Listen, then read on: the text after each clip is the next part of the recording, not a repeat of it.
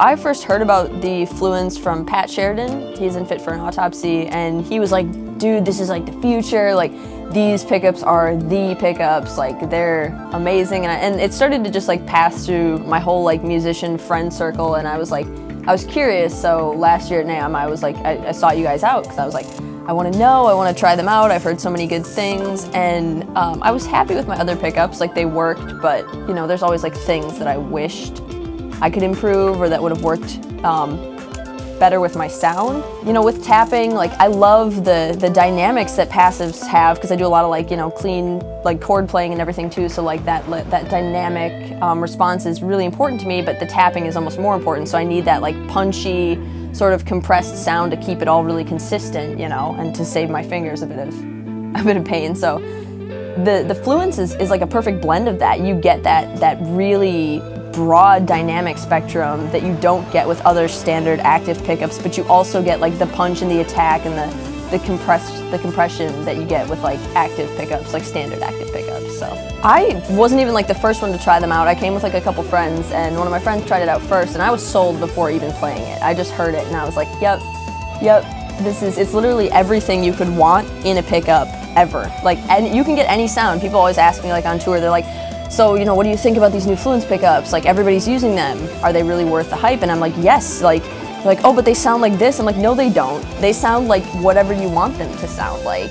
When, when, like, you can make any any tone, anything, and, and it all works. There's no, I can't find something I don't like about them.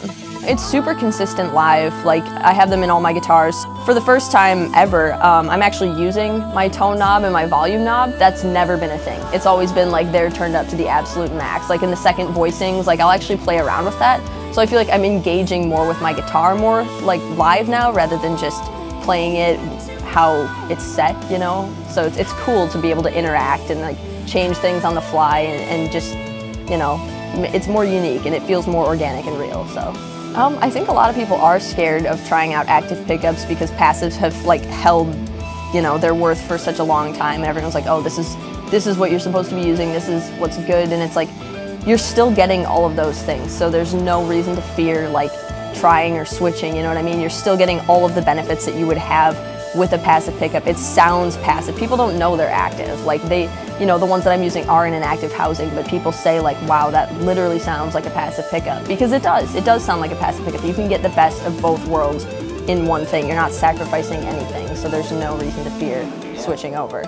Yeah, one thing that's really cool about them is like most active pickups don't split and these ones do. So you can you can be constantly changing your tone on the fly. You can adjust pretty much anything. Like I said, you can engage with it a lot more organically live. And, and if you're, if like something isn't right with your toner, I've found like when I played Tech Techfest for, for like example, I um, I wasn't playing out of like my amp or my ideal rig situation. And if you're in that position, you can still sort of like cater your sound to being what you're used to with your pickups, which is so rare. You can't do that. I've never played any other pickups I've been able to do that with. So it's like even if you're in, you know, a like less than ideal gigging situation, you can you can just, you know, it, it helps you be more comfortable playing if you can get your sound pretty much no matter what, which is really cool.